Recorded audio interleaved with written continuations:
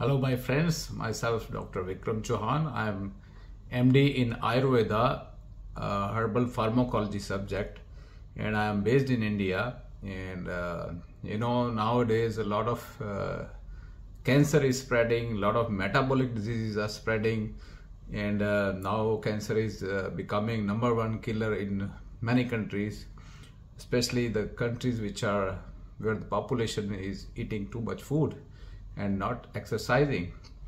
So I was going through the different videos and I came through a video from Dr. Seyfried, Dr. Thomas Seyfried from from Boston, and uh, I thought I should uh, make a video on that subject because uh, most of the things which Dr. Thomas Seyf- Seyfried has told, most of them they are mentioned in Ayurveda as well, because uh, Ayurveda is a very ancient uh, medical system of India and uh, it is in Sanskrit language and people are not able to understand it and uh, uh, so I would suggest all the medical oncologists and also Dr. Seyfried to correlate the concepts with the Ayurvedic medicine. Uh, according to uh, Dr. Seyfried, cancer is a metabolic disease and uh, it can be reversed by correcting some uh, lifestyle as well as in your diet uh, what to eat. So that is also true eh, according to ayurveda. Ayurveda uh, emphasizes mainly on fasting on on water or fasting um, simply fasting mainly on water. So according to ayurveda uh, when we are fasting the body is uh, not uh, eating the food because uh, there is no food. So what the body does the body eats toxins. Whenever there is the digestive fire or the metabolic fire it is consuming uh, the excessive uh, calories or excessive toxins or uh, endometabolites which are called uh, toxins or which are called uh, ama according to ayurveda. So ama which is formed because of too much food or because of too much toxic food or too much carbohydrate food that is uh, burnt up or consumed by the body and also the toxins which are produced by half digestion of the food is also consumed up by the body when we are fasting. So fasting is a wonderful way to to clear the toxins and when you are on on water then you uh, clear up the toxins with water also. And the second point uh, mentioned is low carb diet. So it is very much true that uh, high carbohydrate diet is very dangerous for your body because it uh, mm, uh, it provides you a lot of glucose and glucose uh, accumulates in the body in the form of glycogen and, and then later on fats so fats they block the channels. According to ayurveda whenever there is blockage in the channels micro channels the energies doesn't flow. And then you get the diseases like tumors cysts cancers diabetes blood pressure and all these metabolic disorders. So cancer according to ayurveda is nothing but um, expansion of such metabolic disorders like uh, diabetes or uh, obesity. So this view is also very much similar to dr Seyfried low carb diet uh, according to ayurveda when we are not eating food we are burning the the toxins as i explained earlier in the in the um, uh, fasting section. So it is better not to consume a lot of carbohydrates. Just uh, switch over to the diet which is more in uh, protein or it is called keto diet according to dr seyfried it is called keto diet mainly based on protein and fats. There you must understand the basic concept what how it works. Uh, our body is made up of cells. And the cells they have cell membrane and it is like a small organism. Uh, we were unicellular previously thousands of i mean millions of years ago. Uh, and then we became multicellular. So the cell membrane is covering the cell. And cell is a complete unit of life. And inside the cell there are different organelles which are performing different functions. There are lysosomes there are there is endoplasmic reticulum uh, there is Golgi body, there, there are so many other organs like mitochondria, there is nucleus. So mitochondria is called the powerhouse of the cells as you must have studied in uh, your biology classes in, in 10th uh, or 12th or maybe in 8th class in school time.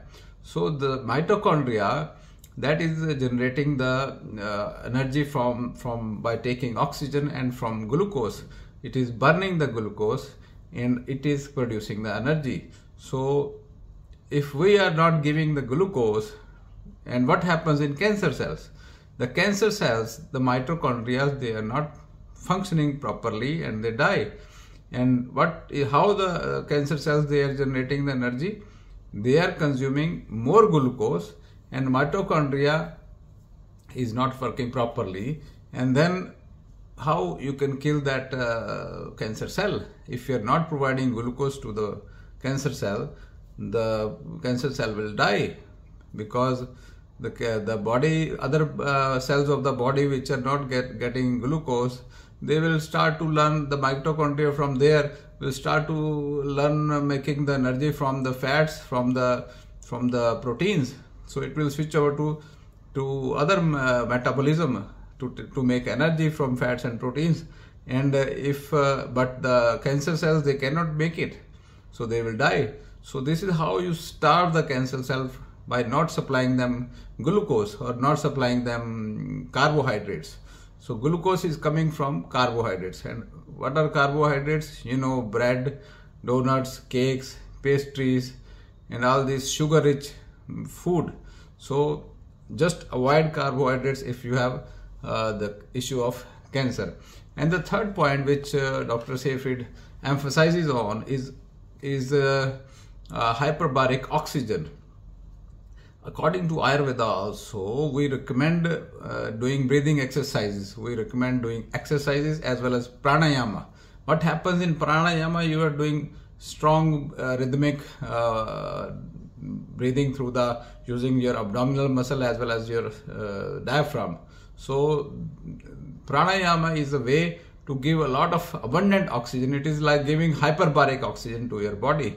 So you can give it your, yourself. But people who are not doing pranayama, they, they are uh, going to hyperbaric oxygen uh, places, they are getting the hyperbaric oxygen from there. So it is okay, but still I would recommend that uh, in yoga, it is uh, uh, detailed uh, explanation is give, given about this pranayama exercises and other breathing exercises like Anulom Vilom, Kapal Bhati, and uh, Bhastrika, and all such breathing exercises which are working similar to uh, Kapal Bhati, which are working simple, similar to hyperbaric oxygen therapy. So pranayama and yoga is wonderful. They are also uh, uh, explained in Ayurvedic texts.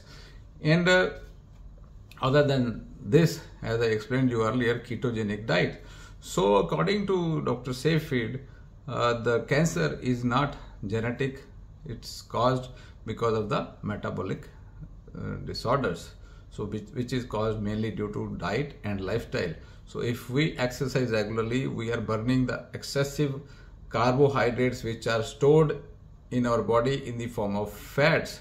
So obesity and uh, too much of uh, fats in our body that is the cause of many metabolic disorders hormonal disorders like uh, uh, this insulin resistance thyroid problem hypothyroidism so all such uh, problems can be solved if your weight is ideal so you can reduce your weight by exercising by doing pranayama and also by reducing the uh, carbohydrates intake so and another important factor is stress, which is very, very important factor. In fact, everybody is now living uh, in stress nowadays.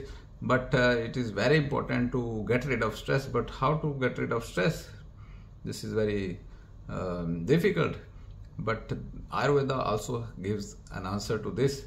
Yoga tells us how to live. Stress is usually uh, when we are not accepting the situation, when we are uh, not uh, understanding the situations when we are uh, not able to accept the people as they are. So yoga says we should accept the people as they are, we should forgive them, we should leave them avoid negativity, avoid negative people, and uh, avoid stress. So if some somebody, some if your husband or your family member or somebody else is giving you stress, then you you need to learn. Or if your uh, wife is giving you stress, yeah, then you to need to learn how to live with it because you have to accept them as it is, as they are.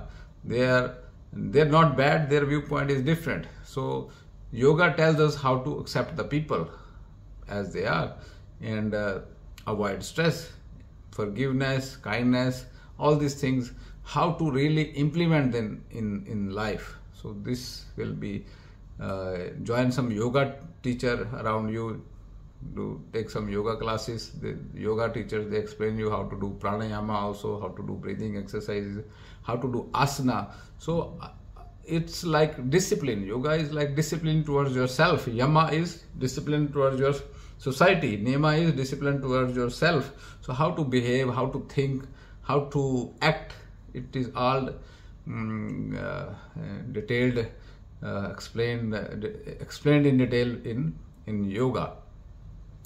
So all these things which are explained in Ayurveda, uh, they are now coming up and modern doctors, many senior uh, doctors and researchers, they are trying to figure out how um, uh, how to deal with these situations, de- deal with these metabolic syndromes. However, Ayurveda has already explained so much in detail about all these problems and their solution. Ayurveda says these disorders, especially these metabolic disorders, happen to those who are eating too much food and not exercising. There is a verse called Asya Sukham Swapna Sukham Gramya Odak Dadini Gramya Odak Anuprasa Pyasi. So it is mentioned in, in uh, as a etiology for diabetes. If somebody is sleeping too much during the daytime, not exercising, eating, eating a lot of um, carbohydrate rich diet and uh, a lot of dairy products, then he gets obese and he gets diabetes. So these inflammatory disorders and and uh, Dr. Seyfried also recommends uh, mm, uh, chemotherapy in low dosage. He says that if you're following, uh, if you're correcting your metabolism, and then you are uh, uh, weakening them, the weakening the cancer cells or making them vulnerable to to death. So in that case, you can use the chemotherapies in very low dosage. But according to Ayurveda, being a herbal pharmacologist, or I'm also doing clinical practice in India. So according to Ayurveda or according to herbal books, uh, there are so many herbs which are having similar action uh, like uh, chemotherapeutic agents, but they are very, very uh, safe. For example, curcumin from turmeric is very useful. It is uh, also getting popular. And there, there are other plants like graviola or also Simaruba. Simaruba is the Latin name of another plant, Simaruba glauca. They are having similar active alkaloids or active compounds like like chemotherapeutic agents like uh, doxorubicin and paclitaxel. In fact, paclitaxel is made from the plant called uh, this Taxus baccata. So Taxus baccata is growing in, in India in the mountains of Himalaya. Taxus baccata is there. Artemisia annua is there. Artemisinin is very powerful for for uh, destroying the cancer cells. So Artemisia annua is there. Graviola is soursop. So it is also there. Annona muricata, and there is another herb Vinca rosea is uh, the the chemotherapeutic agent called vincristine and vinblastine. They are taken from that plant. So if we make the standardized extract from these plants, which I am making, and we use them in, in such patients, they work like low dose chemotherapy without causing any side effects. In fact, uh, uh, ancient alchemy is also another branch of Ayurveda. It's called Rasa Shastra, where uh, ancient uh, Ayurvedic uh, practitioners they used uh, gold nanoparticles and silver nanoparticles to kill the cancer cells. So there is a lot of research papers already there are a lot of research papers already published and you can check them all these compounds which i am talking about you can search over internet ailanthinone from a plant called Ailanthus excelsa. The root extract of that uh, Ailanthus excelsa is very uh, popular, uh, I mean very effective and also getting used uh, popular for treatment of these different type of cancers. So if you're suffering from cancer, there is nothing to be scared of. Calm down, accept that you got some problem. It was complication of the inflammatory process which was going on for long and then you need to just correct it and slowly slowly slowly it will be reversed so i wish you health and i thank dr sarah sarah Seyfried uh, from boston uh, to to work on this subject and he is trying to save humanity he is trying to save millions of people who are dying and also without such uh, uh, aggressive chemotherapy and radiotherapy and all such treatments. So there is hope, and I'm sure a lot of people will be saved from such drastic procedures and treatments. Thank you very much. I wish you health. Thank you.